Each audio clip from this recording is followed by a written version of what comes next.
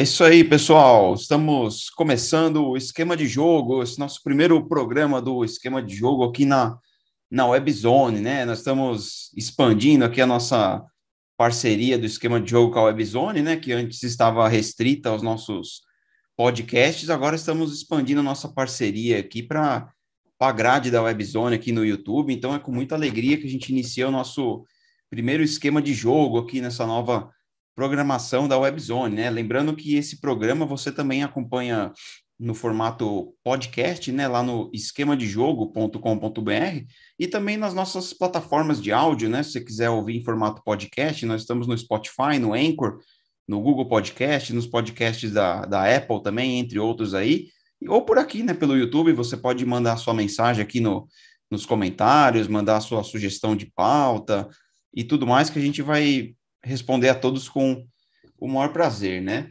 Então, nós vamos, para iniciar esse nosso programa, né? Lembrando que o esquema de jogo, nós vamos abordar aí alguns, nos aprofundar em alguns assuntos aí do, do mundo do futebol e, e, e outros esportes também, e, sempre que possível nós vamos trazer entrevistados também, técnicos, dirigentes, jogadores, para a gente poder é, enriquecer aqui o nosso, o nosso programa, né? Então eu vou apresentar aqui os nossos comentaristas, né? Lembrando que eu sou o André de Poldi, né? Vou, vou estar tá apresentando o programa hoje aí com vocês e eu vou estar tá apresentando nosso time de comentaristas. Vou começar pelo Eduardo Oliveira, o Edu, que, que faz esse meio de campo aí da, da Webzone com o esquema de jogo, e é um dos grandes responsáveis aí por abrir as portas para o esquema de jogo aqui no, no YouTube. Então, Edu, obrigado aí pela sua participação e seja bem-vindo. Oi, André, agradecendo aí, agradecendo ao Bruno também e a você aí. Então, a gente vai ter essa parceria e o pessoal vai acompanhar, tanto no site quanto também lá no, no Webzone Esportes nos Acréscimos. Esse programa vai estar em vídeo, né? Como você falou, na sexta-feira, a partir do meio-dia. Então, toda sexta-feira a gente vai estar trazendo um pouco do debate aí de assuntos relacionados ao futebol e outros esportes também. Muito obrigado aí pela atenção de todos. É isso aí, Edu. Muito obrigado. Eu vou chamar o nosso outro comentarista aqui, o nosso manda-chuva do, do esquema de jogo, Bruno Faria, direto do, do Canindé lá, fazendo homenagem à torcida da portuguesa. Aí tá cheio o Canindé hoje, hein, Bruno? Seja bem-vindo. Fala, André. Fala, Edu. Tudo bom? É, o Canindé tá cheio, mas o Wanda Metropolitano e o Mineirão estão vazios aí atrás de vocês, né? Acho que vocês fecharam os estádios para apresentação, né? É. É, bom, Feliz de, de, participar aqui, agradecer ao pessoal da Webzone nessa parceria de, de conteúdo, né? Sempre evoluindo, sempre criando mais alguma algum meio de, de levar nosso nosso esquema de jogo até o público. Acho isso legal. Eu só vou te corrigir que eu não sou manda-chuva de nada, porque eu, eu, sou o cara que mora sozinho e não manda nem na minha própria casa. Então, não tem essa não. Quem manda, vamos falar, vamos fazer uma média, né? Quem manda são as pessoas que escutam, leem e assistem, né? É, sabia que você ia se esquivar, mas todo mundo sabe que você é o nosso nosso manda-chuva aqui do esquema de jogo. Isso é um elogio, né? Não estamos não estamos brincando. Rapaz, quem manda na minha casa é minha cachorra, pra você ter noção. Não é assim que funciona, né? Ah, então só muda de endereço, né, cara? Não tem jeito, por aqui também não é muito diferente. Bom, mas vamos, vamos para o que interessa, né? Vamos para o nosso primeiro assunto, né? Como eu disse na, na abertura aqui, a gente não vai.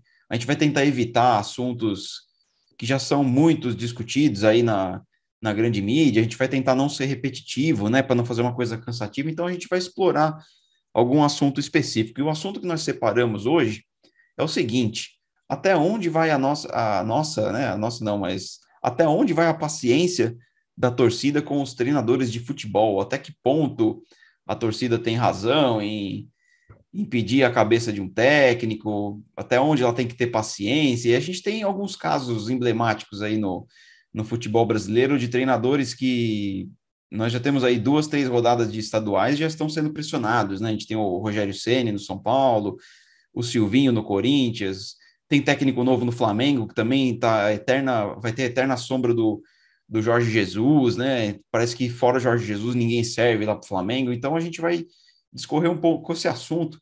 Eu vou lançar uma pergunta para vocês dois, só para a gente iniciar. Eu vou começar com, com o Bruno aqui. Bruno, até que ponto é, um time, uma diretoria tem que manter um treinador, a gente tem essa esse debate, assim, ah, tem que ter paciência com o técnico tudo mais. Aonde, até onde você acha que vai a paciência com o técnico? Qual que é o limite para você? Bom, antes eu queria comentar que você falou que a gente vai evitar temas que são debatidos à, exaustão nos programas esportivos e a gente já começa com o tema que é debatido à exaustão nos programas esportivos, né? Ah, mas é... é... um foco diferente, né? Isso que eu quis dizer. É. Não, eu entendi, mas é porque, cara, é, não muda isso. É, é, esse tema específico no futebol brasileiro, todo, toda semana tem alguém que está sendo fritado e não, e não vai mudar. É, respondendo objetivamente a sua pergunta, eu acho que a paciência tem que ir até onde vai a convicção. Né? Enquanto você acredita que o trabalho do, do cara que você contratou para gerenciar, gerir um grupo, né? É, montar, escalar, até mesmo contratar e dispensar jogadores, enquanto você achar que isso está está sendo cumprido de acordo com o que você conversou, né? Quando você estava na, na fase de entrevistas, né? Agora os times estão fazendo entrevistas com, com os treinadores. É, eu acho que enquanto isso, a paciência deve existir, né? Lógico, existem alguns casos aí que, por exemplo, eu, eu posso queimar minha língua, né? Mas o, o treinador do Flamengo parece que está só a, um, a uma sequência ruim de, de entregar o chapéu para o Jorge Jesus, né? E a impressão que eu tive também é que o Jorge Jesus só cozinhou o Galo, né, com perdão do trocadilho, só para o principal rival do, do Flamengo, um dos principais rivais do Flamengo aqui, atrasar um pouco o planejamento, porque né, a gente sabe como é que vai ser, a gente sabe que o elenco do Flamengo não é fácil, né? E o Paulo, é, Paulo Bento, Paulo Bento, Paulo Souza. Paulo Souza, Paulo Bento era o do Cruzeiro, né?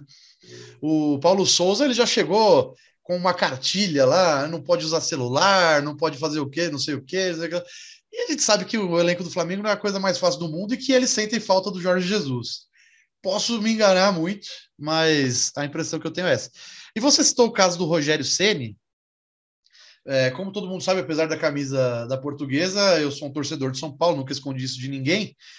É, o Rogério Senna, enquanto ídolo, é, joga, jogador barra goleiro do meu clube, é intocável, uma instituição do futebol. Agora, enquanto treinador, eu, eu, eu tenho muitas ressalvas a ele, apesar de achar ele.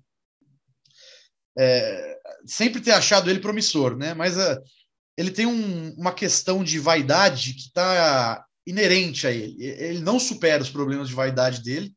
E eu tenho a impressão que enquanto a, a, diretoria do clube que o contrata não faz exatamente aquilo que ele quer, ele vai escalar o time da, da pior maneira possível, só para mostrar que ele tinha razão.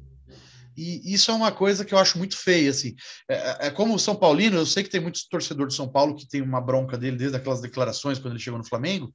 Não é o meu caso, tá? Eu acho que ele estava no papel dele. Eu fiquei um pouquinho doído na, na ocasião, talvez mas eu acho que isso é do jogo. O que as, os, as minhas ressalvas a ele e a minha sensação de que ele não vai durar muito é por conta dessa vaidade e dessa, dessa teimosia dele. De, é, no ano passado, o São Paulo fugindo do rebaixamento, barra com alguma possibilidade ainda de é, ir para a Libertadores, ele arma um time totalmente desconfigurado só para provar que o Benítez não serve, que a torcida pediu o Benítez. Né? E a gente está vendo isso hoje de novo. Ele tá, é, ele não sabe o que fazer com o Rigoni. A verdade é que ele não sabe o que fazer com o Rigoni, por exemplo. Coloca o cara em todas as posições, menos na que ele vendeu com o Crespo. É aquela, essa, essa é o meu sinal com, com o Rogério. Acho que a paciência com ele tende a ser mais curta, né? Mas aí no caso do Silvinho que você destacou, eu acho que é um pouco de, de exagero, porque bem ou mal, o cara foi montando um time ao longo do campeonato, né? Conseguiu uma quarta posição, que fazia um tempo que o Corinthians não, não conseguia, foi para a Libertadores direto, é, tem recebido reforços importantes. Tem um desafio aí, né? Ainda não tem o centroavante e tem que lidar com a idade elevada, a média de idade alta do, do elenco, mas eu acho que a pressão sobre ele nesse momento, terceira rodada do Campeonato Estadual, é exagerada, né? Mas como eu falo, cada caso é um caso, né, André? O Fluminense, por exemplo, contratou, contratou, contratou e trouxe para seu treinador o Abel Braga. será, que, será que vai, vai dar certo? Né? Quais foram os, grandes últimos, os últimos grandes trabalhos do Abel? Já faz um tempo. É, então, assim, enquanto houver convicção no que se faz, deve manter a paciência. Mas parece que a maioria não tem muita convicção, né? É, e, e eu acho que junta um pouco essa questão do. Assim, a gente está avaliando só vai, começo de estadual, mas já, já tem um. Muitos já vêm com, esse, com essa bagagem da, do fim da temporada passada, né? Por exemplo, o Silvinho já está já é um trabalho que está que está num processo, do Rogério também, então não é um trabalho que começou agora, vamos avaliar a partir de agora, não, já já vem com, com essa bagagem do, do ano passado, já técnicos que já estão nos clubes, né? E você pega o caso do, do Silvinho, assim, é uma coisa que eu também, eu também não acompanho também tão de perto assim o Corinthians a ponto de falar dar detalhe estático das coisas, mas eu fico perguntando, né? É, o time chegou em quinto lugar no, no Brasileirão, é um time que, como o Bruno bem disse, foi sendo formado ao longo do campeonato, aí eu fico pensando, o que mais, até onde mais o Corinthians podia, podia ter chegado? Bater com os três lá da frente, Atlético, Flamengo e Palmeiras, difícil. Aí, assim, até que ponto, até onde mais ele consegue chegar? O que, que mais precisa ser feito? O time ganhar de 5 a 0 todos os jogos, enfim, é uma coisa que eu acho meio exagerada. Mas vou no, procurar não me estender aqui, até para colocar o Eduardo na, na é, conversa. Só, só para só eu, eu já dou o gancho para o Edu eu acho que poucos são os treinadores nesse começo, em três jogos oficiais, que não estão pressionados. Né? A gente vê agora o Palmeiras vai embarcar para o Mundial. O cara é bicampeão da Libertadores, tem campeão da, é, foi campeão da Copa do Brasil no ano retrasado. Será que se ele tiver um insucesso, ele, ele não vai ser pressionado também? Eu tenho minhas dúvidas. Quais, quais são os que não estão pressionados? Eu acho só o Voivoda no, no Fortaleza. E olhe lá, hein? Não, não tem outro assim que eu falo. Esse aí tá com prestígio. Edu, com você, respondendo a pergunta aí, pegando esse gancho do, do Bruno também. Então, com relação ao que foi passado aí pelo Bruno, eu concordo com ele, mas a gente tem que entender que nenhum dirigente do futebol brasileiro ele tem uma, uma cabeça de ter uma gestão profissional. Eu vou só fazer uma, um gancho, eu vi a entrevista do, do novo dono do Botafogo, ele falando que a principal dificuldade que ele vai ter não é colocar dinheiro, isso vem com o tempo, mas a principal dificuldade que ele viu no futebol brasileiro é que não tem um planejamento. Porque ele falou: olha, o Botafogo veio de uma campanha da Série B, ele está tendo alguma montagem de alguns, de alguns jogadores. É, esse time ele sabe que não consegue disputar de igual para igual é, o, o Campeonato Brasileiro e ele já está sofrendo pressão. Só que ele foi tentar entender como é que funciona o futebol brasileiro. Ele, ele já falou assim: olha, se não criar uma liga e não ter algumas regras, a gente vai começar a querer não ter um investimento tão alto. Então, é, eu vejo que a questão do, do, do técnico no futebol, no futebol brasileiro, ele não joga para dar um espetáculo, para fazer um jogo bonito. Tanto que eu tenho certeza que um de vocês dois estiver passando um jogo melhor no final de semana, ou o jogo do seu time, você começa a ver, mas depois você vai começar a dar uma sapiada. Os jogos do Brasil são de baixo nível. Porque os treinadores, eles têm medo de perder o emprego. Você salaria o Silvinho, o Rogério. E olha que o Rogério ainda tem, vocês podem falar melhor que eu, porque vocês são São Paulinos, vocês acompanham. O Rogério ainda tem uma, uma certa carta branca por ter sido ídolo. Mas parece quando vira treinador, o torcedor não gosta, né? Porque o São Paulo vinha numa dificuldade no ano, no ano passado. E ele entra, tenta encaixar ali. Mas, de uma maneira geral, eu vejo, eu concordo com o Bruno, mas a gente tem que fazer uma, uma reflexão um pouco maior, André precisa ter capacidade e gestão para gerir clubes, não é duas ou três derrotas. Porque quando começa o campeonato, o calendário do futebol brasileiro, todo mundo fala: não, o campeonato estadual não vale nada. Mas toma três pancadas para ver. Então, que convicção que, que os nossos dirigentes têm? Então, eu vejo que está muito mais atrelado a uma gestão do que propriamente uma questão de, de vamos, vamos dizer assim, de querer mudar. Eu acho que é muito fácil mudar. É duas pancadas vão mudar. Mas será que o treinador também tem as peças que ele precisa? Eu vejo que não. É só para colocar um ponto também na, na, discussão, que tem um outro lado também, né? A gente, acho que todos os treinadores têm o mesmo discurso e não é um discurso errado, né? Do ponto de vista de que ah, eu preciso eu preciso de tempo para trabalhar, com duas, três derrotas eu sou demitido, a gente não tem sequência, tudo mais. Mas a gente tem alguns exemplos aí, o exemplo do Wagner Mancini, acho que é o exemplo mais claro. Que quando ele começa a engrenar um bom trabalho, ele simplesmente vai para outro. Lógico, todo mundo tem direito de, de trocar de emprego para uma empresa melhor, que te pague mais, a gente não está crucificando. Mas peraí, se você faz um discurso de que você precisa de continuidade e você também toda hora troca de, de time por, por sua conta, porque você aceitou uma outra proposta, então fica meio difícil cobrar alguma coisa. E, e um outro ponto é que, assim, até quando a gente conseguir, quando a gente conseguir trazer algum técnico aqui para o programa, é uma coisa que eu quero perguntar, porque a gente ouve bastante, assim, quando um técnico vai ser apresentado, e até jogador. Ah, eu vim pelo projeto. Ah, não, o que me chamou a atenção, por que, que você escolheu a portuguesa e não o Juventus? Ah, não, eu vim aqui por causa do projeto. Aí você, você vê, a gente já teve casos de treinadores assumindo um time faltando duas, três rodadas para acabar o campeonato, para livrar o time do rebaixamento, e o cara teve a cara de pau de falar que estava indo pelo projeto. E não durou dois, três meses. Então eu queria entender deles o que, que eles consideram como um projeto. E dos clubes, dos é dirigentes. ninguém nunca perguntou qual era o projeto. Esse é o problema. Exatamente. Ele, pode, ele pode estar tá falando a verdade, mas qual que é o projeto? Ah, ficar aqui até o final do ano, depois vou passar o ano novo em, em qualquer outro lugar. Esse é o projeto. Posso dar uma ideia para você, André? Eu, eu, eu conversei do, através do esquema de, do, do WebZone Sports, a gente conversou com o Galo, e ele falou que ele ficou 10 dias no Santa Cruz, e apresentaram um baita de um trabalho para ele. Ele chegou lá, era totalmente diferente. Não tinha jogador, não tinha isso, não tinha aquilo, não tinha aquilo outro. Então, e aí, o que, que seria... Da... O que, que seria esse, o que, que foi apresentado para ele assim, ó, oh, você vai ter tal tal jogador, você vai ter tanto recurso para contratar, você vai treinar é, no sintético, sim, né? Sei. Então, é isso que eu queria saber em termos práticos, né? Assim, qual que, o que, que é um projeto? O que, que você considera um bom projeto? Os dirigentes, o que, que eles apresentam para os treinadores como um projeto? Ó, nós vamos.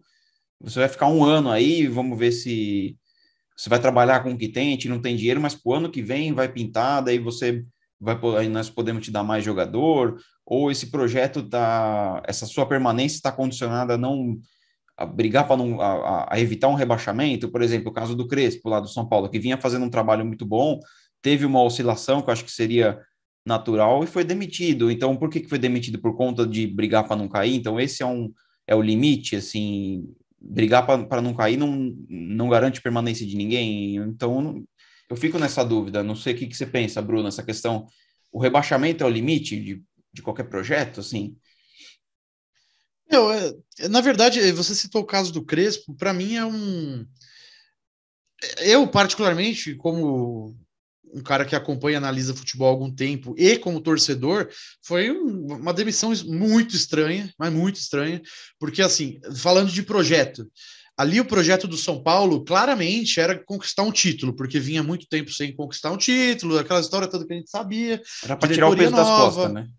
Tirou o peso das costas, diretoria nova, é, teve aquela barbeiragem no final do Campeonato Brasileiro do ano retrasado, né, que o São Paulo entregou o campeonato por causa do, do dinizismo. Projeto, esse sim era o projeto. Projeto do dinizismo foi o que ficou até as últimas consequências. Mas veio o Crespo, entregou o que o São Paulo, que a diretoria de São Paulo pediu no primeiro momento, mas teve um custo, né? O custo foi o físico dos jogadores. Ele estourou todo mundo, não teve pré-temporada. Emendou a temporada 2020 com a 2021. A gente sabe disso, que por causa do Covid teve essa, essa realidade. Estourou todo mundo. O, o Crespo, em muitos momentos, deixou muito claro que a prioridade era o Paulista, porque ele chegou a poupar na Libertadores, sem o time estar classificado, né? É, é um campeonato que dá muito mais dinheiro, dá muito mais projeção, dá muito mais holofote. E o São Paulo poupou para jogar o Campeonato Paulista. Ganhou o Campeonato Paulista. É, e aí começou a estourar um por um, né? Luan, enfim, a, a, lista nem cabe aqui, porque senão a gente estoura todo, o tempo do programa. Todos os jogadores do, do plantel, vai. Todos, o Luciano, todo mundo. E o Crespo foi mandado embora no momento em que alguns dos principais jogadores começavam a voltar aos poucos no momento que vinha um outro reforço que ele já tinha pedido, inclusive, né, o Gabriel Neves, o Caleri, acho que ele não chegou a pedir, mas estava chegando. Então, e no, no, mesmo dia que ele saiu, o Rogério Ceni comandou um treino no, no Morumbi. No mesmo dia. Então, assim, você rompeu com o projeto de um cara que. E o Crespo, e a diretoria de São Paulo, principalmente na figura do Murici Ramalho, né? Porque eu tenho muito respeito, mas falava: não, a gente tem que acertar dessa vez. Lembra, no começo do ano? A gente tem que acertar dessa vez. A gente entrevistou não sei quantas pessoas, o, o Crespo passou uma segurança para a gente porque ele entendeu o projeto. Não, não entenderam que a dificuldade que o, o time do Crespo enfrentou foi por conta desse projeto de imediatismo para conquistar um campeonato estadual. E pegaram e mandaram o cara embora. Então, enquanto enquanto é bom para os dois, o projeto vale. Quando começa a ficar difícil, inclusive com muita responsabilidade da diretoria, a diretoria simplesmente pega e manda o cara embora. Essa é a verdade. E deixando bem claro que não foi o Crespo que colocou o São Paulo na, na briga né, do, do, do rebaixamento. Porque quando ele foi demitido, o São Paulo ainda tinha um respiro. Chegou o Rogério Ceni e o time flertou assim, mas flertou com um gosto, né, para cair. E, enfim, mais uma dessas trocas injustificáveis, mais uma, um, um, rompimento de ideia, de projeto. É, eu, eu, me estendi muito nessa questão do, do Crespo, porque realmente fiquei bem revoltado com, com, essa, com essa daí. E, inclusive, hoje eu vi um post lá, o pessoal lembrando quando ele chegou, dando uma entrevista, o cara com um sorriso do tamanho do, do Morumbi, né, de estar tá treinando São Paulo. Um cara como o Hernan Crespo, hein, ganhou Champions League, Premier League, Série A, ganhou os principais títulos do, do mundo, né? E ele estava radiante de treinar o São Paulo. É... E não deram, não deram a sequência que o cara pediu. E tem um outro. Aí, aí eu já vou chamar o Edu. É, a gente está falando muito de treinadores estrangeiros ultimamente, né? Aí vamos pegar esse exemplo do Crespo que eu me estendi. O cara trouxe um monte de reforços que ele pediu, né? Um monte de jogadores. Você rompe o contrato com esse cara e aí fica um monte de jogador para o próximo treinador. Como eu citei agora há pouco, o Rogério Ceni não sabe até hoje o que fazer com o Rigoni. Como é que faz? Você, você aumenta a, a dívida do clube para dar um projeto, para garantir o projeto que o, que o treinador pediu, né? É, cumprir lá o checklist você manda o cara embora e os jogadores ficam, e aí o outro que se vire. É, isso, isso, isso é um projeto, isso é um planejamento? Eu acho que não, né, Edu? É, a questão que não é só isso, né? Como você falou, será que às vezes o exemplo que você deu do, do São Paulo, será que a diretoria também não, não quis que o Crespo falar, não, pode poupar, que o importante é o Campeonato Paulista, a Libertadores a gente vê, então, às vezes, também tem que ter um, às vezes tem um respaldo lá, ou às vezes o diretor fala, não, tem que ganhar o Campeonato Paulista de qualquer maneira. O exemplo de São Paulo. É, ele, é tinha, questão... ele tinha o respaldo. É, então, e aí, assim, só que aí é aquela história, né? Será que ele só saiu pelos maus resultados? Ou porque, o, como diz, o ambiente do, do vestiário se perdeu? Eu, eu, eu pensei que o São Paulo poderia ter feito o Campeonato Brasileiro mais tranquilo, poderia ter, ter disputado pelo time, assim, poderia ter disputado. Então, mas aí, aí, aí se o ambiente determina que, que treinador fica, que treinador que vai, então você está assumindo que o, pro, o importante não é projeto, não é planejamento a longo prazo. O importante é manter os jogadores felizes. É isso, os jogadores mandam no, no planejamento. Você não consegue resolver o problema do ambiente. Né? Não, mas o, o projeto era ganhar o Campeonato Paulista. Esse era o projeto. É, eu acho que Não, mas assim como São Paulo tem vários outros, né? Tem vários outros que. O próprio Flamengo, eu citei agora há pouco. Quantos treinadores passaram desde o Jorge Jesus? Porque os caras acham que é, com o elenco que o Flamengo tem, é obrigação ganhar todos os títulos. Aquilo foi um ponto fora da curva até para o próprio Jorge Jesus.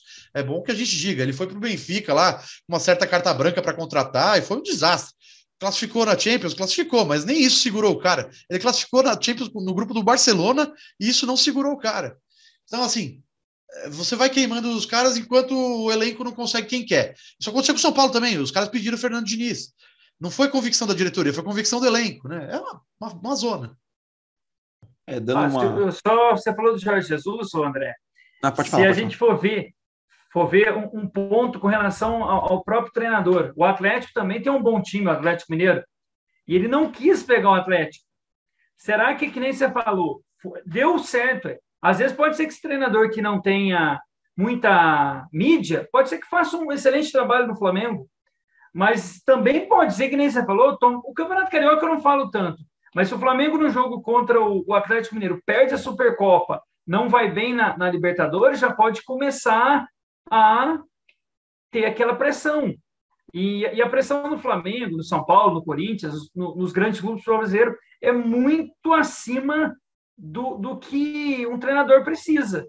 Imagina só, ele vai ter respaldo mesmo tomando pancada, mas a pancada vai ter. Essa que é para mim a diferença. Quando é um treinador brasileiro, todo mundo fala assim, olha, eles estão acomodados, mas eles não têm tempo. O treinador de fora, a imprensa dá um, um certo, vamos dizer assim, uma certa carta branca, mesmo ele perdendo uma ou outra coisa.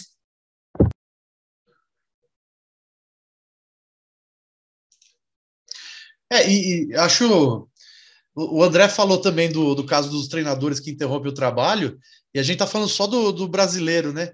Mas eu, eu, lembro agora do Antônio Conte, que ele. O cara ele faz trabalhos excelentes, assim, a, a, média de trabalhos dele é sempre ótima, mas ele não fica nos lugares, né? ele sempre arruma um problema para sair, arrumar um outro time. É, às vezes ele tem contrato de dois anos, ele, ele rompe o contrato, e assim, é um dos raros casos que, que a continuidade não faz tanta diferença, né? Porque o cara ele consegue fazer bons trabalhos. Agora ele está fazendo um bom trabalho no Tottenham, que convenhamos é uma coisa muito fácil, né? Pelo, pelo nível de, de competitividade, pelo até pelo próprio elenco, né, em comparação aos outros. Mas assim, é, voltando a, aqui no Brasil, a gente falando de técnicos estrangeiros, né?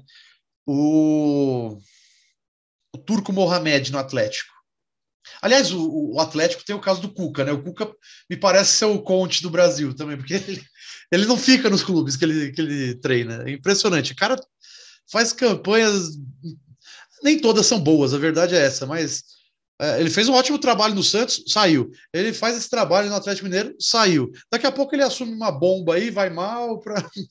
vai lá para baixo de novo, ninguém lembra dele, aí ele pega e volta para um time. É, a, a, vida dos caras é, é muito doida, né? É, mas voltando, o, o Mohamed, quem, quem assim pode me garantir que ele não está pressionado por se, se o time não apresentar um bom desempenho, por exemplo, contra o Flamengo agora, e começar capengando na, na, na, competição importante que é a Libertadores. Às vezes até com o resultado, 1 a 0 2 a 0 mas se o time não, não corresponder aquele futebol que todo mundo espera logo no começo, já vai começar a sua corneta, né? E, e, infelizmente essa é a tônica, essa é a realidade, não tem muito como fugir. Por isso que eu falei, eu desafio vocês dois aqui a falar um treinador que esteja numa situação confortável além do Voivoda, porque nem o Abel Ferreira que está indo disputar o Mundial tá, tá tão confortável assim, na minha opinião. Mas aí eu vou fazer uma pergunta. Vocês acham que se o Palmeiras não, não for bem no Mundial, o Abel corre que tipo de risco? Eu acho que não cai. Acho que ele tá falando mas... de pressão, né? De, de ser é, pressionado. pressão. É porque o Abel. Eu vou falar, porra, segundo, o segundo. E, assim, tudo depende também de como cai, né? Lembra que o Abel é. ganhou Libertadores e Copa do Brasil logo quando ele chegou? Dois, três meses depois, ele perdeu o Paulista para o São Paulo, que ele estava pressionado já. Então é uma no coisa. Mundial mesmo ele já estava pressionado, porque ele, ele mundial, não chegou né? na final. Porque ele não chegou na final. É uma coisa muito o maluca. Pessoal, né? a, o pessoal acha que o sul-americano tem que chegar na final contra o europeu. E faz tempo que isso mudou, né? Não é, não é mais a, essa a verdade do, do, futebol. O cara tem que entrar e tem que jogar. E o mexicano, o, o árabe, o, qualquer time. Então, teve o, o, o, time do Romarinho lá chegando na final, teve o time do Japão chegando na final. Então, é, você vai pressionar o cara por causa disso. Ainda aí, teve um tempero extra aí naquela, naquela, nessa pressão. Era um ano de pandemia, com calendário super apertado, muito mais do que o normal, né? É, tinha acabado, não deu tempo de comemorar os títulos que ele tinha ganhado, viajou para o Mundial, perdeu e já voltou com aquele. Como que é? Como assim? Meu, é, é, é, é, infernal também. Isso é infernal, né? Como que você lida com isso. E o Abel me parece ser um cara meio esquentado, assim, eu não sei uh, também uh, que, que, nível de, de, tolerância que ele teria para mais uma corneta se ele não ganhar o Mundial. Que convenhamos, a obrigação de ganhar o Mundial não é do Palmeiras, né? Por mais que a campanha do Palmeiras seja excelente uh, no, nos últimos tempos, por mais que o Chelsea venha caindo de rendimento, a obrigação ainda é do Chelsea. Vocês acham que dá jogo ou não?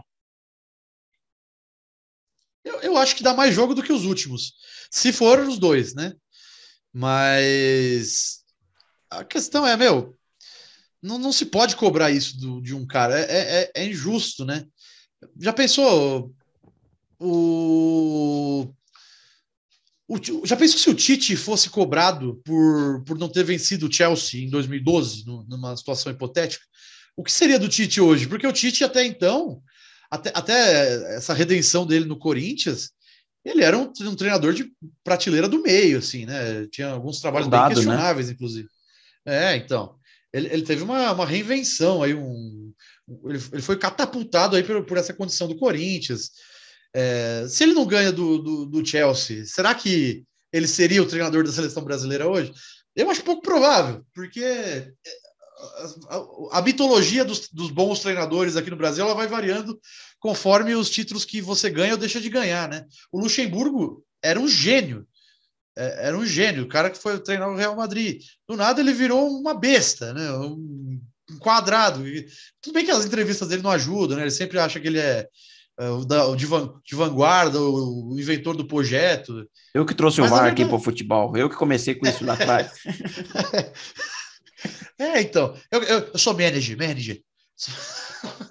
Peguei mulher na, no seu quarto na cochetação. o Tele, o Tele parava a grama, aquilo ali já era o manager. Eu já, eu já o Tele já era é, o manager. então. É o manager barra zelador do CT, né? Mas então, é, é, são, são, essas questões aí. Na verdade, a gente perde. A gente perde, fazendo exercício de futurologia, né? O que, que vai ser do Abel Ferreira na história do futebol brasileiro? É, vamos supor, se ele tivesse saído do Palmeiras assim que ele ganhou a segunda Libertadores, eu tenho certeza que ele estaria é, maior treinador da história do Palmeiras. Duas Libertadores em um ano, uma Copa do Brasil, né? Não é para qualquer um. Cara, se ele perde uma, mais uma semifinal, ele volta lá para baixo. É uma coisa muito doida. Tem um outro lado. Você pode crer que a mesma sombra que o Jorge Jesus faz para os técnicos do Flamengo até hoje, a gente vai ter esse mesmo assunto no, no Palmeiras. Olha, no tempo do Abel Ferreira era assim, assim, assado. Então, agora com esse treinador já está diferente. Então vai ser uma, a mesma chatice, eu acho, né? Mas eu acho meio injusto, assim, tudo. Até complementando o que o Bruno tá, tá falando aí para passar a bola pro, pro Edu, porque a gente cria uma coisa que ninguém sabe o, o ponto que deve ter, ser atingido. Então a gente pega lá atrás o Murici, quando foi tricampeão brasileiro. Ele ganhava o brasileiro, aí no ano seguinte ele perdia a Libertadores, vinha aquela pressão enorme, porque o Murici tinha aquele papo, né? O Murici não é técnico de mata-mata, ele é técnico de ponto corrido. Aí ele ia, ganhava o brasileiro, aí tinha ele se redimia, digamos assim. Então, assim, como, como se você per perder Libertadores fosse a coisa mais absurda do mundo. Então, a gente. Não, isso, E o Murici ainda teve. Depois ele veio a ganhar a Libertadores com o Santos. E é. aí o que, que falaram? Ah, é o Neymar. É. Não, não, não é o Murici. Aquela Libertadores que, foi mais fácil, né? Tudo. É, sendo que com o próprio Neymar, com o próprio Ganso no mesmo time, o Adilson Batista quase não classificou o Santos na fase de grupos. É. Né? Mas o Murici não teve mérito nenhum. É complicado. O Murici não sabe jogar mata-mata. É, tem essas coisas. Então, no caso do Abel também, ele sofreu uma pressão meses, poucos meses depois de ter ganho uma Libertadores. Então, a gente não sabe o que, que é o, o qual que é o ponto máximo? Todo dá um título para cada time do, do futebol brasileiro e acabou o problema, né? Porque alguém vai ter que ganhar, alguém vai ter que ser o vice, né? Então fica muito difícil a gente entender, né? O que que o, o que, que a torcida, a mídia espera de um é, treinador, é, né? antes do Edu voltar, eu deixo ele falar bastante, que eu estou bem participativo.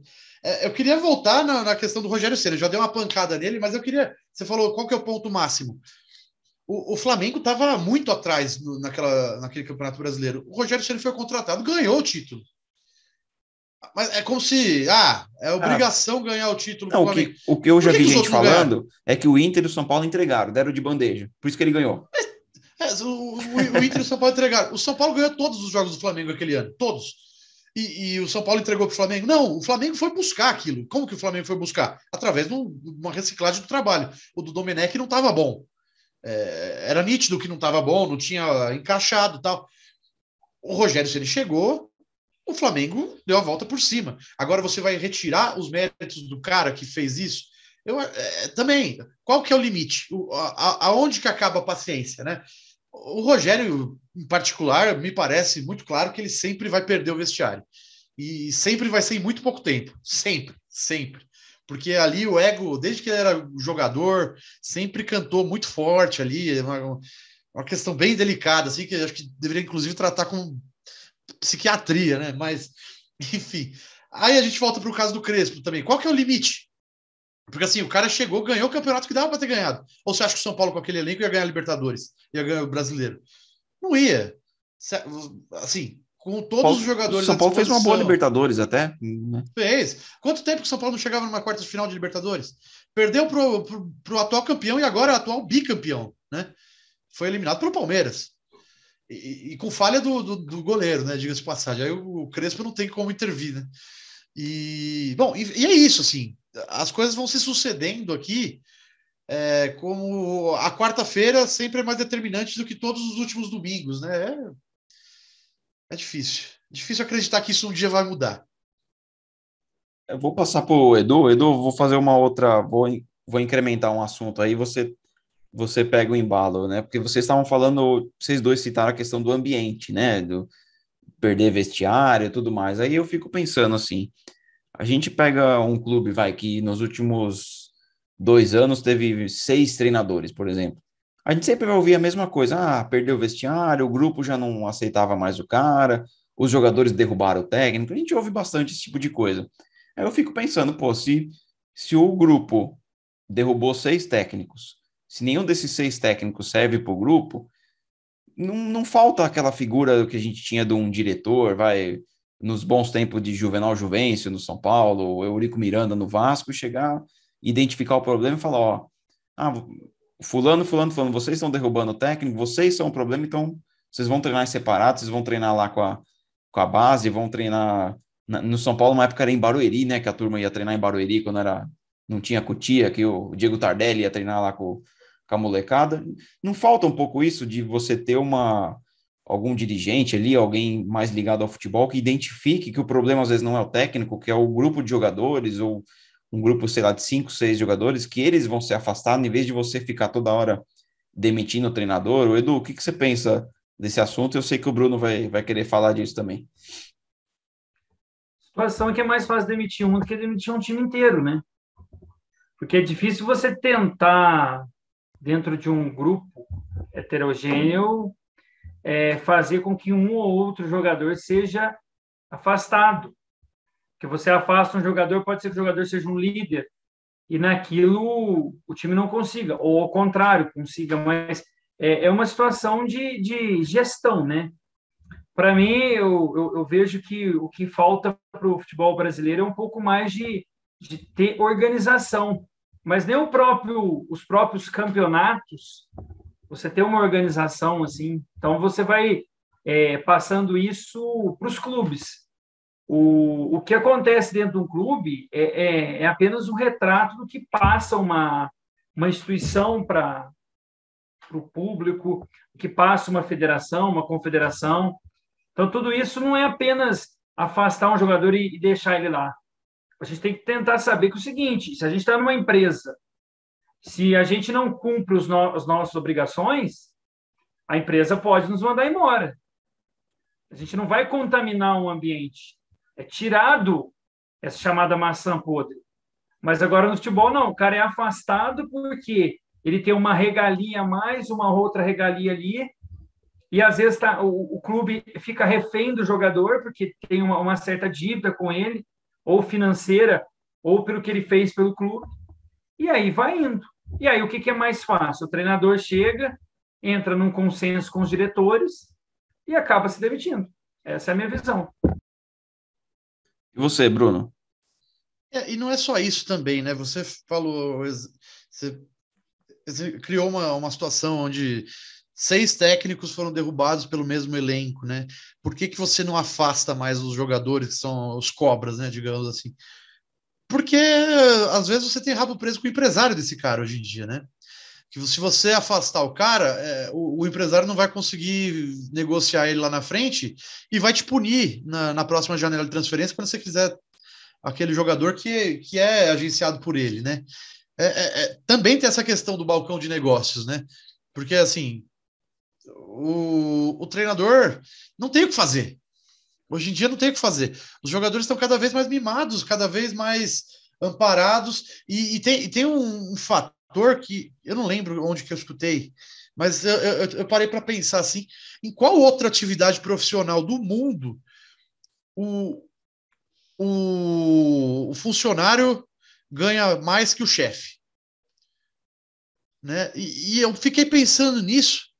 Eu fiquei pensando, o Fernando Diniz, eu não lembro quanto que ele ganhava no, no São Paulo, mas tinha uma época que estavam cobrando ele de sentar o Daniel Alves.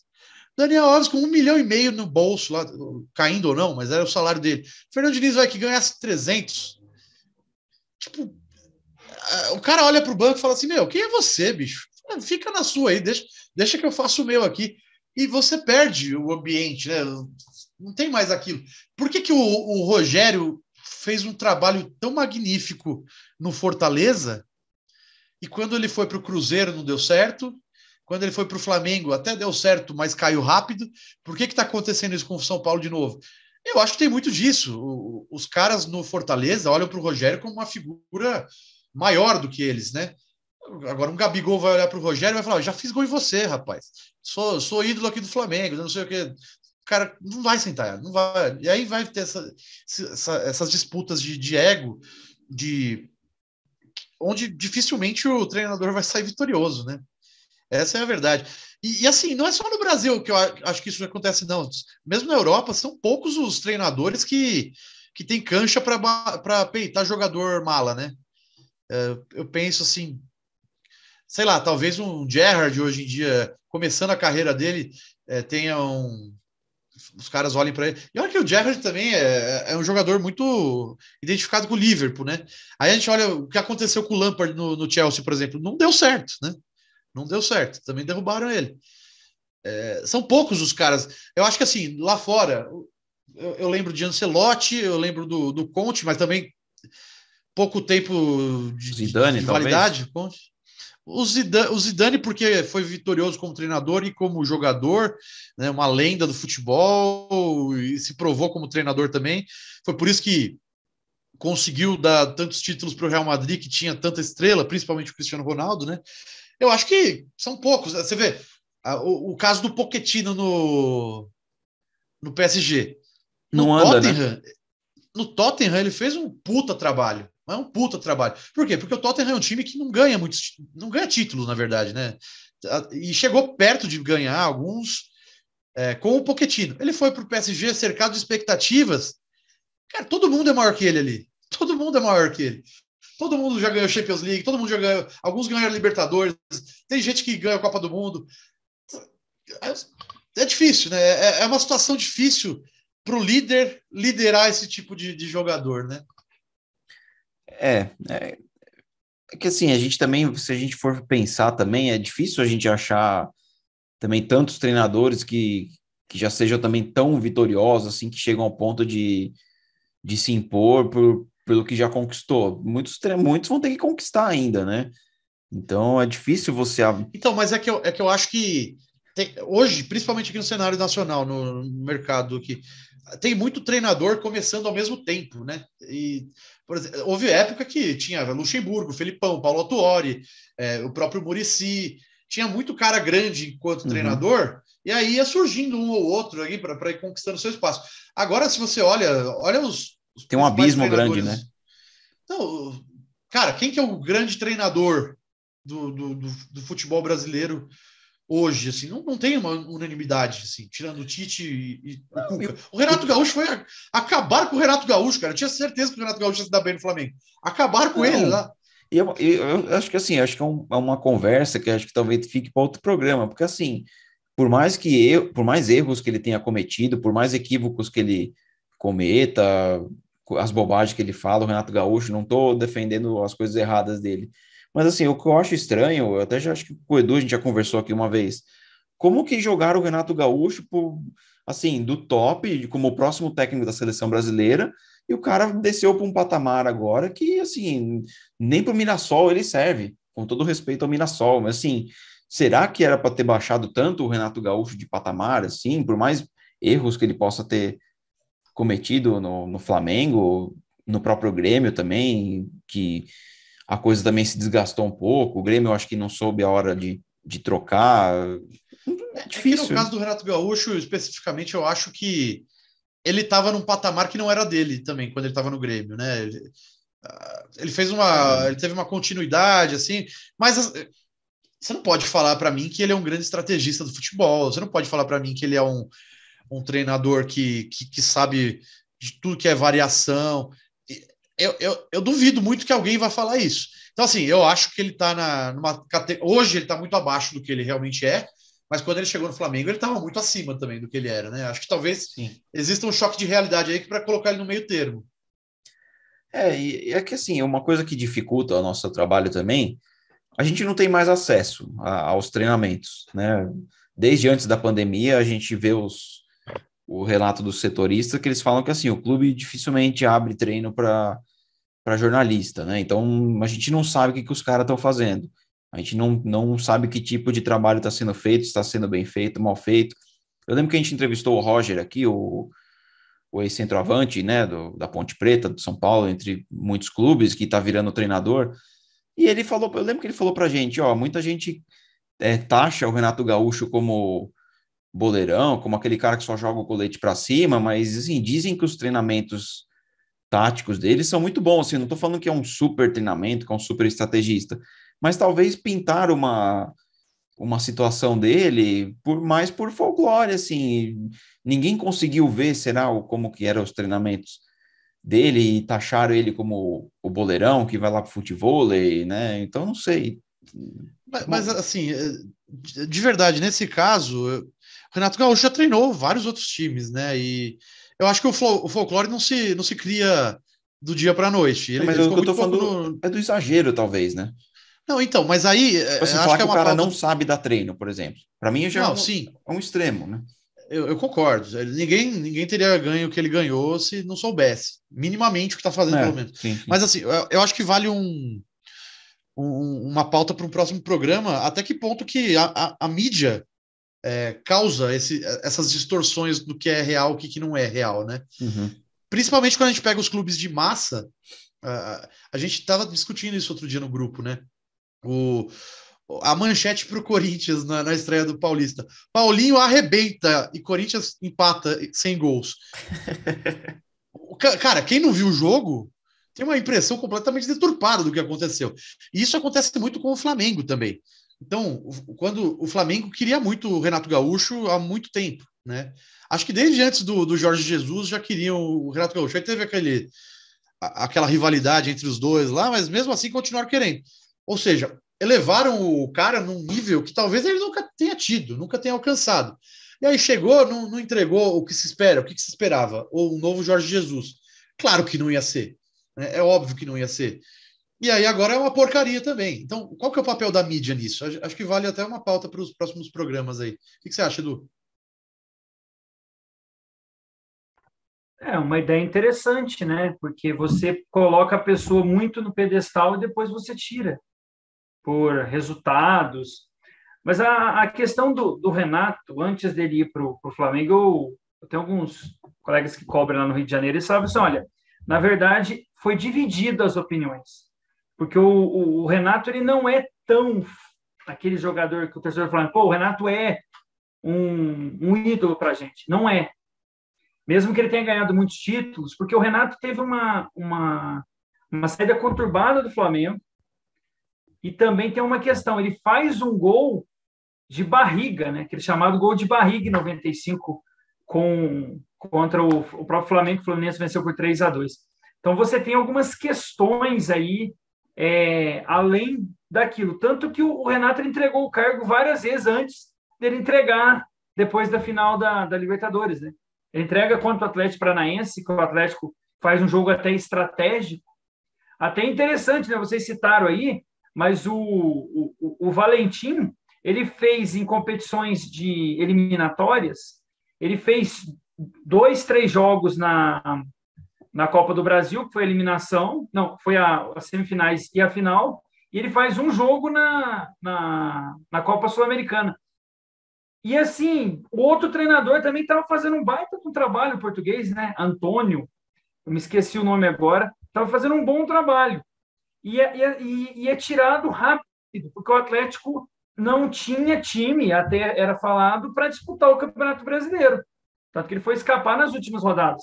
Mas nas eliminatórias o Atlético foi bem. E então, assim, eu, eu, vejo que essa questão aí vai muito pelo lado midiático também, né? Tinha o Renato, tinha a mídia, porque o Renato fez um bom trabalho no Grêmio, conseguiu recuperar vários jogadores. Ele fica lá, o Grêmio é eliminado da Libertadores em 2016, e aí você traz o Renato porque é um ídolo, mas também no Grêmio ele passou alguns perrengues. A única diferença é que ele ganhou títulos nesse período. Ele ganhou uma Copa do Brasil que o Grêmio não ganhava desde 2001, que ele vai ganhar em 2016. Depois você tem uma questão que o, o Renato ganha a Libertadores. Faz um jogo até teoricamente não de igual para igual, mas não foi atropelado pelo Real Madrid no placar no Mundial de Clubes. E depois você tem conquistas de títulos é, estaduais, o Grêmio é, bate um tricampeonato. Então, assim, os títulos também fizeram ele. No Flamengo, não. No Flamengo, ele chegou, não deram tempo. O primeiro título mesmo, é, pau a pau que ele teve contra o Palmeiras, teve uma infelicidade, né? O Flamengo poderia ter ganho. Teve a bola com, com o Michael, teve chances é, antes do jogo. O, o Andrés acabou errando, e eu também não culpo ele. Eu, eu acho que o erro também foi um pouco do, do Davi Luiz por ter atrasado, mas aí é outra discussão. Mas aí ele perde aquele jogo, perde o jogo do Maracanã e o time se desmonta, né? Então, assim, eu, eu vou mais ou menos nessa ideia sobre, mas a, a, eu vejo que a mídia também tem uma certa responsabilidade. A gente coloca muito cara ou no pedestal ou muito embaixo. A gente pode pegar o Tite. O Tite ele faz um trabalho até excelente na seleção pelos resultados, mas não pelo jogo que o pessoal gosta de ver. Um jogo de dinâmica, um jogo que dá espetáculo. Hoje ele tenta mudar o seu estilo. E aí a mídia fala: não, será que o Tite está mudando? Aí o Tite vai e perde o jogo para a Bélgica. Até jogou melhor no segundo tempo. E aí o Tite, não, o Tite não é treinador para si, vamos pôr o Renato. Até um amigo meu brincou comigo, falou, não, o Tite faz os três primeiros jogos da, da, da fase de grupos, depois pôr o Renato Gaúcho, que o Renato é boleirão. Não, não é assim, ué. é Copa do Mundo. E, e aí tem várias questões. Mas eu vejo que você não pode muito ao céu e muito ao inferno com relação aos treinadores. E, e não é só treinadores, né? Já antecipando a discussão da, do, quando a gente for fazer essa questão da mídia aí, eu me lembro, você falou do Renato, do, do Grêmio, né, que ele ganhou a Libertadores, é, eu lembrei do, quando o Luan chegou no Corinthians, na Florida Cup, ele fez um gol de falta, uma falta bem, bem esquisita, o goleiro foi com, com a mão curta no negócio, ele bateu a falta com a camisa 7, e os caras já colocaram ele para para falar com o Marcelinho Carioca, já falou, chegou o novo Marcelinho Carioca, chegou o novo ídolo.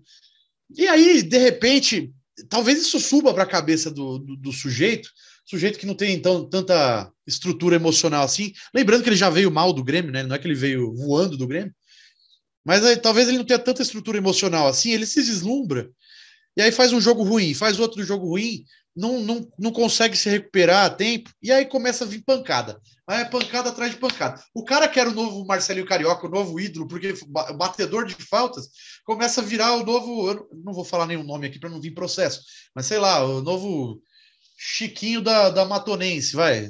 O nome. Então, realmente, a, a mídia catapulta e, e, abre também um buraco embaixo do sujeito. Quando, quando é o bel prazer, assim, eu vejo que é, é, o bel prazer de influenciar a, massa, né? Eu, eu, eu não sei o que está por trás de algumas opiniões mais inflamadas da, da grande mídia, né? Digamos assim. O André, o André gosta de discutir essa, esses assuntos comigo, né, André? Ah, é porque, é porque a gente tem muitos exemplos, né? A gente tem exemplos todo dia, né? Então o pessoal dá material para a gente debater, né? O pessoal alimenta o nosso o nosso ego né? e, e até para essa questão da, da mídia influenciar tudo mais e de colocar o treinador num patamar muito acima, depois jogar ele lá para baixo. Eu acho que a mídia faz isso com, com jovens treinadores, né? Os treinadores promissores, digamos assim. Então, ela nessa talvez nessa carência que a gente tem de, de bom futebol, de bons técnicos, tudo mais. Então, surge um bom trabalhinho de um cara aqui, já se joga o cara num patamar assim. Então, eu dou uns exemplos, né? Tava até buscando aqui próprio Roger Machado, que fez um trabalho muito bom mesmo no Grêmio, né? Que preparou o terreno lá para o Renato Gaúcho ganhar aquela Copa do Brasil. Roger Machado, o próprio Eduardo Batista, teve aquele Milton Mendes também. Todos os técnicos começaram bem a carreira. A mídia já fez uma, uma campanha assim para transformar os caras já em, em super técnicos e aí foram decaindo, decaindo e hoje isso é de agora? Não. Isso não é de agora. Eu, eu, lembro, você falou disso agora, eu lembrei do Pericles Chamusca. Também. Quando ele começou a treinar, o pessoal falou, nossa, o novo Luxemburgo. Candinho, não. cara, lembra do Candinho? Candinho. O, Candinho, o Chamusca até ganhou o título. O Chamusca ganhou, ganhou o Santo André, né? Aquela Copa do Brasil. É. O Candinho, ele, ele surgiu como auxiliar, de repente o cara era treinador de tudo, porque ah, é. o Candinho. E quando vai ver, não é tudo isso, né? Tipo, pode até ser, mas não é naquele momento. E aí você já estragou tudo pro cara, né? Porque... Será que às vezes não é o time? Não, pode ser o time, pode ser, pode ser o momento, pode ser o contexto. Pode, o, o, você falou do Eduardo Batista, tem, tem vários, né, André? Tem muitos, muitos casos que. Ah, é que a gente não gosta do si, mas o, o, o, Jesus, quando ele faz o segundo ou terceiro jogo com o Flamengo, ele quase é eliminado pelo Emelec. Se acontece uma eliminação e o time não encaixa, que ele, ele teve, ele recebeu peças, algo que o Abel não tinha. E o Abel era é. massacrado no, no Flamengo. É. eu lembrei agora do caso do Adilson Batista, que lembra do trabalho que ele fez no Cruzeiro? No... Porra, era um treinador que estava despontando. Era... No Cruzeiro, Aí, ele ficou muito tempo lá, né? O Cruzeiro foi segurando ficou, ele. Né? Um trabalho longo, um trabalho duradouro. Final de Libertadores. Lembra do Jair Pisserni? Né? Jair Pisserni. Jair, virou o Jair Vicerni, né? Já, já é, então. Por quê? Porque ele fez um puta trabalho com o São Caetano e foi treinar o Palmeiras, que não tinha, não tinha um décimo da estrutura que tem hoje. É justo, cara? Eu não acho. Lembra do aquele outro auxiliar lá do, do Palmeiras também? Esqueci o nome dele. Não, o Valentim, não. Teve o Valentim, mas era um outro. Cara, eu não vou lembrar agora. Ah, o Jorginho. Era jogador.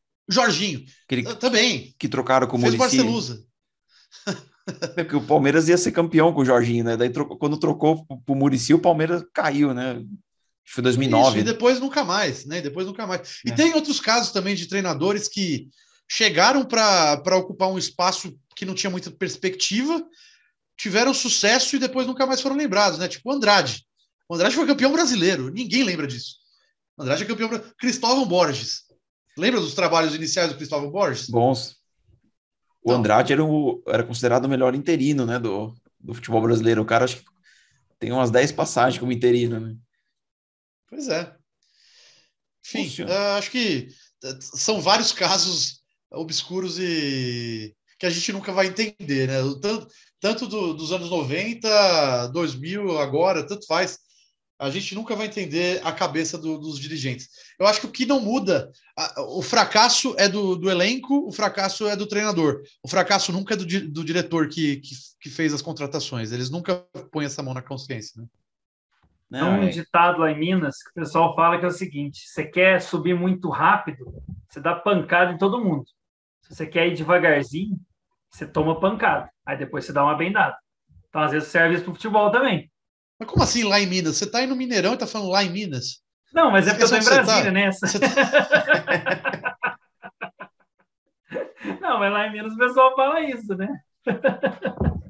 Bom, senhores, o papo foi muito bom, mas a gente está chegando ao final aqui, não vamos estender muito. A gente espera que, que vocês que estão que nos acompanharam até agora, que vão ainda nos acompanhar, tenham gostado. A gente está tá só começando aqui, eu creio que a gente vai desenrolar ainda, vamos melhorar, vamos trazer coisas novas para o programa. Vocês, lembrando que vocês podem acompanhar, além de, de acompanhar a gente aqui no YouTube, também acompanha a gente lá no esquema de jogo.com.br, tem os nossos podcasts lá e vocês acompanham também nossas, nossas matérias lá, tem, temos reportagens, temos muita coisa para vocês. Mandem aí suas sugestões aqui nos comentários, suas, suas dicas aqui, vocês são muito bem-vindos, vocês fazem parte aqui desse desse projeto. Vou me despedir dos meus amigos e a, a palavra final de cada um aqui, agradecendo desde já a participação de vocês. Brunão, sua palavra de, de encerramento aí. Isso aí, pessoal. Obrigado pela, por acompanhar a gente até aqui. Nem sei quantos minutos a gente ficou aqui no total. É, sei que a gente se estendeu, a gente, entendam eu, né? Teve umas esticadas longas aí nos argumentos. Mas é isso, segue a gente lá no esquema de jogo, acompanha a gente. E nas redes sociais individuais também, o, André, ele sabe tudo de, de Big Brother, Fazenda, é, de férias com ex e tudo que dá audiência. Então pode seguir o André aí que ele vai comentar. Pô, cara, você só esqueceu de avisar que eu nem tenho rede social, né? Eu sou um cara muito antenado, né, com tudo com tudo que acontece no mundo, né? mas assim, o Bruno lembrou, é bem. Eu tinha até esquecido, né? Você pode acompanhar o esquema de jogo nas redes aí, nós estamos no, no Facebook, né? No facebook.com.br esquema de jogo, e no Twitter também, no arroba esquema de jogo. Segue a gente lá e acompanha a gente também nessas, nas nossas redes sociais. Edu, seu destaque final aí, mais uma vez, obrigado pela parceria e seu, seus comentários aí que agradeço. Todos tenham uma excelente semana. Lembrando que você pode acompanhar lá no site Esquema de Jogo, sempre tem alguma reportagem, alguma coisa sobre o que acontece no noticiário do nosso dia a dia. E o pessoal curtir aí, comentar, mandar sugestões. Quiser também criticar, pode criticar. Opa. O importante é comentar. Comentou. Quem não comunica não se trambica, dizia. Acho que dizia o Chacrinha, né? Eu não lembro que eu era, eu era novo, mas tinha dois, três anos, mas não sei se é isso. Mas tá todos uma excelente semana. Fiquem em paz a todos. Se quiser criticar e ofender, tem dois membros que merecem isso, que chama Felipe Bandeira e Danilo Cândido de Oliveira. Tá? É só procurar lá. Vai na rede social, pode, pode criticar eles, que a gente repassa também, se vocês não acharem. A gente vai pôr aqui no, na descrição do vídeo a rede social do, dos nossos dois amigos, aí vocês fiquem à vontade para xingar os, os cidadãos lá. A gente vai ver se traz eles para o pro programa aqui, acho que ia ser, ia ser muito engraçado. É isso aí, pessoal. Obrigado a todos pela pela audiência aí, pela paciência e até semana que vem. Forte abraço a todos.